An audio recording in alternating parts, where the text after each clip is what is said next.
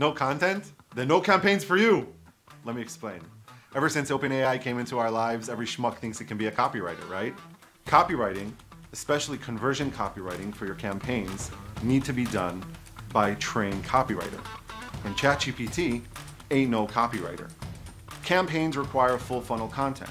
For example, top of the funnel content will be made to bring in leads, right? To make your brand stick out.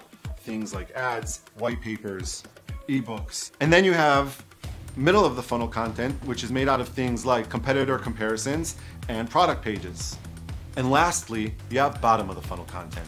Things like case studies, reviews, ROI calculators, anything to drive a sale and to convert the lead into a customer.